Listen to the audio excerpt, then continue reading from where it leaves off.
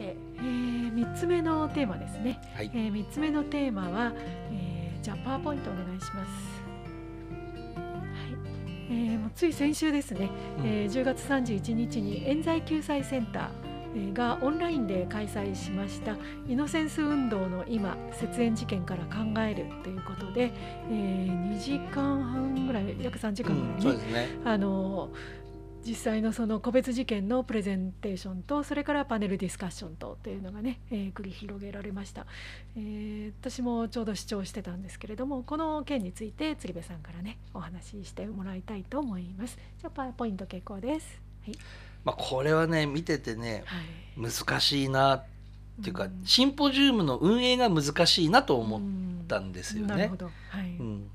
中身は素晴らしいと思うし、うん。要は目的が何なのかなっていうかね、要は詳しく知らない人がうんはい。知りたい、だけどじゃあ、一般国民というかね、うん、は聞けるのかなと思っちゃう。眠くなっちゃったり、うん。よくわけわからない。うんだからある程度分かってる人がはい、さらに知りたいとか、うん。やっぱりそうだったのねっていう部分には最高だと、そうですね。だから冤罪について実際に戦っている人たちだとか、うん。それを支援している人たちだとかそこに意識を向けて何か改革をした方がいいなと思ってる人たち向けっていう感じですね。だから古東事件とかはいなんか新聞にも出てたし、はい。自分たちも個別にうん。違うところから情報を得るとそれになかったことっていうのがすごく少ない、はいだけどそこの少ない部分がすごい重要だったり、はい。これ隠したんか検察はとかうんっていうことがありますよね。はい。が組織ぐるみのことがあったりっていう部分でだからすごい深まるんですけど初めての人とか本当ちょっとだけ興味持った人がこれを見てずっと3時間見続けるかなって思うと会場にいれば帰れないから あのいるけど、はい。ズームだと何でもできるじゃないですか。うん。居眠りもできるしおしゃべりも違う仕事しながらでも。うん。で結構ね学者や弁護士先生だったからお笑いの人ではないので、うん。あとパネルディスカッションも、まあ、ある程度はい。常識の範囲というかわ我々の世界からするとそうだよねそうだよねっていうのと本当にそうだよねっていう。じゃあこれをやり続けて変わるのかなっていうことですよね。うん。でもやらないとまた何もない。はいじゃあ逆にじゃあお前どんな形でやったらいいんだよって言われたら、うん僕も答えがない。うんだ誰に向けてやるのかそして何を深めたくてやるのかっていうところをやっぱり定めること自体も必要だしそれとこう効果っていうところをまたつなぐの難しいですけれどもね。難しいですね。うんまああ明らかにあのこの前のその冤罪救済センターのイベントはいわゆる素人さん向けというか一般国民向けではなかなったかったなとは思うんですよね。はい。だからじゃあ一般国民向けにはどうしたらいいのかとかね、はい。っていうとまた難しい問題だし、だからまあ映画にしようとかね、はい、だからあのナバリも映画になりましたよね。ね。ああやってこうまあ袴田さんも映画にしてますけどね。ああやって映画にして見やすくしてこうやって冤罪が作られるとかね、たまにテレビでありますよね。あの無罪を勝ち取った裁判官とか、うん。あの弁護士とかっていうのでね、2時間特集みたいなのでありますけれども、まあそういうので冤罪っていうのが少しずつこう以前よりはね、うん。出てくるようにはなってきてますけれども、その程度ですかね。うん、だからね難しいと思うんですけど僕は前から主張しているのは、被害者にフォーカスを当てるとうん。大変だったよねっていうとこには行く。うんで自分はそうはなりたくないよねっていうところには行くけどそこから動けないえっ、とそれは冤害冤罪被害者。冤罪被害はいはい。ねだってみんな大変じゃないですか。うんでいやよく頑張れたねとか、うんいや自分ならそんな頑張れないとか、うんいやそんな目には自分は会いたくないよはいっていうところにはいけるじゃないですか。はい。でもそこ止まりだと思うんですよ。うんなるほど。なので僕は冤罪加害者側にフォーカスを当てて、うんこうやって冤罪作ったんだようんこういう人がねこうやって冤罪作ったんでこういうことしてるんだよっていうふうにやったら、何やってんだよお前ら。うん。ねそれでいいのかよ検察官警察はとか、うん。とんでもないな。そうやって冤罪作るのかよみたいな風に多分怒れるじゃないですか。うんなるほど。正当な怒りとして、うん。許せんなそれは。ちゃんとチェック機能どうなってんだとかってこう広がって気がするんですよね。る、でも加害者というのは権力側なんでですね。そうやっても裁判官は検証裁判所は正式には検証しないですよね。弁護側が裁判所を検証してるわけでね悪魔の本っていうのがあるぐらいね裁判所ではこうやって冤罪事件やってるけどねとんでもない内容が書いてあったりするので勉強してるわけですから、だから僕はもうちょっとメディアとかねうん。そういうところが加害者側をフォーカスして報道してうん。どっかの週刊誌が冤罪を出した裁判官っていうのを特集してたんでね、うん。はい。顔入りで。ではい。突撃インタビューしたら、うん。みんな喋らないじゃないですか、うん。まあそれはルールだから喋っちゃいけないのかもしれないけども、そういう特集をですねバンバンバンバンね出していったりね。だからさっきの袴田事件でも何回もやってるわけですよ。はい。ねそれから古藤記念病院だって何人もの裁判官が絡んでるわけですよ。そうですね。3回単純でも9人でしょ。はい。で最新でねやったらもう十何人の人が間違ってるわけでしょ判断を。ね。はい。なぜじゃあその12人が間違ったかっていうのをね、式じゃないですけど、はい。レポートを出させるとかね。うん。最終が正しいんであれば私はここでこういう判断を間違った。うん。この証拠の評価を間違った。うん。であればね判決文の中に証拠を総合的に勘案すればみたいな文章なの、はい。いや総合的じゃなくてはい。この証拠をこのように判断したからこう思った。この証拠をこのように判断したからというと裁判官の頭の中をうん。あの復唱できるっていうか、はい。追ってきるじゃないですか。そうですそうするとあここで判断間違ったよあなたって責めるんじゃなくて、うんだから攻め心なき厳しさって言うんですけど、はい。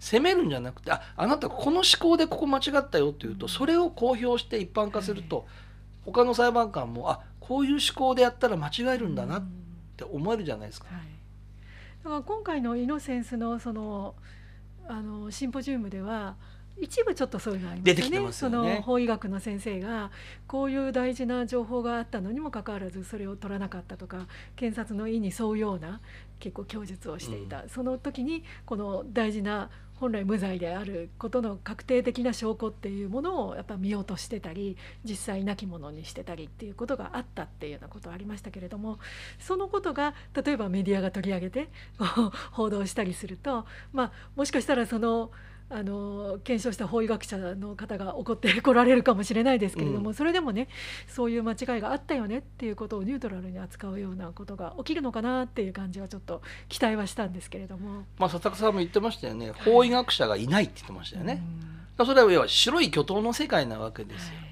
ね、だったらね本当にね僕時間とお金とあれがあったらね日本法医学巨頭図じゃないですけど 派閥図を全部書いてうん。誰がどこの大学で、ね、僕は個人的にはちょっと知ってますよ何人か あの情報源がああっちゃうので、はい。でもそれが本当かどうかっていうのを裏を取っていくとしたらうん。本当にでも悪いけど百何十人しかいないんですよ。うん。百何十人で論文とかのね引用の名前とか全部チェックしてあれば2年ぐらいかければね派閥図作れると思うんですよ。でどの鑑定して勝った負けたっていうのも全部やって今 AI やる時代だから誰かやればその分かりますよね。はい。まあそれで費用対効果があるのかというとまた別なんですけれどもだから白い巨頭があるから誰々先生がやるから自分はできないよとかうんうん。お弟子さんだからって言ってで何人か骨のある人が戦ってくれるわけじゃないですか。もう実際に体験しましたもんね私たちはね。ねえ90何人電話してね もういろんなことありでも会ってくれる人がまあ10人ぐらいいたからそうねですね。でもあの先生が書いてるんならちょっだねでっていうの自分は出れね。ないって言われて、よねまね言ってくれた方は正直なはい。方ですよね。そうですね。うん、だから本当に白い巨頭の世界がありとかうんっていう中でじゃあどうやったらこの活動うんが広がるのかなって思うと、でまあ、活動家って方もいらっしゃるじゃないですか、うん。法医学者でもない、うん。えー弁護士でもない大学教授でもない方で冤罪活動家っていう方々がもうちょっとなんか社会的地位がうん。上がるなりね、うん。で結構そういう方っていうのはやっぱり冤罪被害の大変さを知っていたり、うん。警察検察のひどさを知っていて暴くんだけど、要は食べていけないんですよね。うん。要は物を書いたり講演するしかないわけですけど、まあ須藤監督なんかはね映画監督で。はい。なんだか委員にもなったりしてますけど、うん。委員辞めちゃったりとかね、うん。あんまりにもひどすぎるっていう、でもごく一部でねあの人たちなんかは多分自分が発言しなくちゃと思うはい。使命感のもとに。司法のね闇を知っちゃったからっつってこういろんなシンポジウムで発言はい。で影響力を及ぼしてくれてますけど、うん。ああいう方々がもっとねうん。いっぱいいるし須藤監督にもねまた違うはい。映画を作ってはい。ねいただければとは思うんですけども、そうですね。これ本当どうやったらね広がるのかなっていうのは僕も答えないし、うん。ただまあ一個一個やっぱり事件を潰していくし、はい。だ僕がいつも思ってるのはその大きくやれば100万人なり救えるかもしれないけど一人がね死ぬじゃないですか。死ぬというか。だったら僕の立場は一人に寄り添う方でうん。いいかなと。で結構大学の先生が多かったんで。そうですね今回ね。うんということは大学としてはやっぱり理論だったり、うん論文を書くことで法律や制度を変えていくっていうのが仕事なんで。うんだ僕らもね大学の先生何人も当たりましたけど同じ個別事件に寄り添ってくれる先生って一人しかいなかったですよね。そうですね。あとはもう情報を得るために支援活動に入って、はいで情報を得て論文なりその書けたらもうスーッとうん本当になんかスーッといなくなるじゃないですか。だからもうね僕らやってると「何々先生気をつけな 何々先生気をつけな」って最初だけいいけど途中で情報を得たらいなくなるよと。うん。見事にそうね一人だけの先生がね最後までこう寄り添ってはい。くださってやっぱりその先生の価値観は一人に寄り添ううん。手法ってことですから、はい。その教え子さんたちもね、うん。まあ、大学の先生になった人たちはやっぱり同じようなうん。ことをおっしゃるじゃないですか。はい。ただやっぱり自分としてもね今いろんな冤罪支援の活動をしてるとしたらやっぱり一人に寄り添う。うん。それであこう一個でも覆せばはい。あるんだねうん。っていう事件がねそうですね。こう増えていくことによって社会なりうん。他の人が気が付くもしくは自浄作用があるんであればうん。警察検察もはい。やっぱりダメだよ俺たちちゃんとしなくちゃっていう。まともな方もいっぱいいらっしゃるんですけど、だ今回僕北海道に帰ったんですけど、はい。新聞見たら北海道のやっぱり裏金のこととかうん。あとはあの違反切符のあ あの捏造？ーはい。とかであの処分されてるのが出てたんですけど、うん。全国版には出ないですもんね。なるほど。地方版には出てるんですけど、うんまあ同系はねあの裏金では有名な。たまにあねりますよね警察なんじゃなで同心のね新新聞社を飛ばされちゃったから、はいはいはい。そうやって圧力かけるんですよね、うん入れなくするんですよね新聞社をね。で情報源ですから結局刑事事件の。うん。まあ出禁じゃないですけどでああいつ飛ばせとかっつってスポンサーに圧力かけたりなんかして要はその記者を追い出すなんていうのは普通にやるね。うん。手段だし逮捕権持ってる人に攻めていくっていうのは別件だってね。別件逮捕もあるわけですから大変厳しい世界なわけですよね。はい。そんな中でこのねシンポジウムってじゃあ自分が主催するとしたらどう作るのかなと。やっぱりこんな感じになっちゃって。あとやっぱり被害者の方に出ていただいて、ね、加害者の方に出てくれるなんか市川さんぐらいでしょ？弁護士で。僕はこうやって。まあね自身からそれこそ発信してらっしゃる方なのでねいろいろですけどねでも検察から見れば裏切り者で「うんお前何やってんだこのバカ俺たちやってねえよ」って言われてうん。終わりじゃないですか。そうですね。またまたその権力側からのいろんな情報がね流れちゃってっていうこともね、うん。ありますもんね。まあだからね、まあうん、気が付くことからうんやるしか。ないんですけど、はい。本当に見てよく頑張ってるなと思うと同時に、じゃあどうしたらもっと広がるんだろうとかって時に僕は正直答えを持ってないなって思いながらこんなこと喋ってるんですけど、う んねまあでも本当あの発信しないよりはした方が何かねうん。こう波動がそれこそ動くんじゃないかっていうところであの本当に小さい一歩かもしれないけれども、まあ、まず本当に行動はやっぱり続けましょうというところでね、うん。私たちこの番組をずっと発信しておりますけれども本当あのそれこそアメリカでねイノセンスプロジェクト生まれた発祥ですけれどもアメリカなんかはやっぱりそのまあ本当あの先ほどありましたよね。あの1本目の話でしたっけ？あの上司の言うことには逆らえないっていうその、うん。日本人のマインド的なものとあのアメリカ人のまたね思うマインドっていうのはそれぞれ違う。私は私あなたはあなたっていうので、うん。あの隣のうちが例えば今ねそれこそ選挙やってますあのトランプさんのあの支持者で自分のところはバイデンの支持者でって言って、あの近所近所付き合いはするよってでもそれぞれ主張してるとこは違うよね、でも付き合うよっていうそういう国なのでそれこそ個を大事にするっていう。というところで言った時に一人一人の人権っていうのを大切にした時にイノセンストプロジェクトっていうのが結構広がってるんですよね、うん。アメリカ全土に。だからその持ってる哲学っていうものも、まあ、影響するのかなというところはあるんですけれどもどうも日本はやっぱり権力にこう何かを伝えるっていうのを言いにくいとかそこに何か言うと潰されるっていう思いとかっていうのも強い中でこのイノセンスでもでもやっぱりこの人々の命っていうのは虫けらではないしやっぱり一人一人の命を大切にするっていうところで言った時に冤罪というものが確実にもうあることは分かっているので、そこを一つずつでも本当に助けていきませんかっていう中で、まあこうね、本当先生方活動されてるっていうのはあのぜひぜひ応援していきたいなとは思うんですけれども、です進め方は難しいですね。だからやっぱり個別事件をちょっとやっぱり多めに扱うのがいいのかなと思って、うん今の乳腺外科事件ってはいはいあの専門が起きたっていう、はい。はいちょっとその弁護士さんと知り合いになってまして、はいなるほど。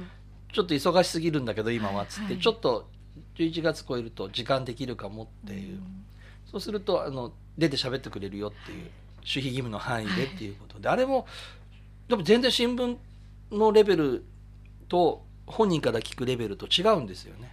あの実は医学界ではかなり問題になっていて、その被害者側の弁護士の先生が書いたものと加害者側のあの弁護士が書いたものとっていうのがこう結構長文で載ったりし,、てるのでまた情報をねお伝えできればと思いますけれどもそういうこうコアなところでは 話題になってるんだけれども、うん。でも世の中ではあまりね、えー扱われてないですよね。ねなんかあれでしょ？乳房手術でおっぱい舐めたんでしょ？唾飛ばしたんでしょ？とかみたいなはい。話にしかね。うん。だからそれで一審ではちゃんとやったら二審ではやってないとか、まあ今ね最高裁行ってますけど、はい。そういうのもやっぱり正しく知るとね報道がいかに興味本位かとか、ね、あと弁護側がねこう加害者あ検察側がねどういう主張をしてるのかとか、口頭無形だったりそれに迎合するうん。医医学者とかはいだから専門家じゃない人が鑑定に来たりとかね、でそれを採用する裁判官とかね、だから一審はまともだったみたいに僕が資料を読む限りは、ただちょっと高裁はなんなんだこの裁判官っていう、そうですね。うん。あのお医者さんその医学界で問題になってるのはやはり自分がそんな風に訴えられちゃうともうまともな診療ができなくできないですよね。うんうんもう必ずその複数の人を連れて あの最後手術が終わった後も必ず誰か見ててねみたいな状況を作らないといけないっていうようなところで現実そんな現場は回らないよっていうところでもきちんと明らかにしてほしいっていうのね真実を明らかにしてほしいというところで話題になってるみたいですけれども。ではぜひねそんな事件のこともお聞かせいただくことで本当こうね皆さんに意識持っていただね。一つでもね、あれあの事件件って違ったのねって思うことからスタート、そうですね。やっぱり一番興味持ってもらうことからでね。別に無罪と思ってほしいとか冤罪で思ってほしいとか思いませんけど、一つあ冤罪ってあるかもねとか、うん。ちょっと事件に興味を持っていただくところからスタート、は別に何かの活動をねいはい。していただけなくてもうんするのは本当一部でいいと思うし、ただはい興味だけ持っていただきたいですよね。はいそうですね。はい。ぜひそんな思いでね私たちもやっておりますのであのチャンネル登録はい していただければと思います。はい、それでは鶴瓶さんどうもありがとうございました。ありがとうございましたスタッフの皆さんもありがとうございました。ありがとうございました。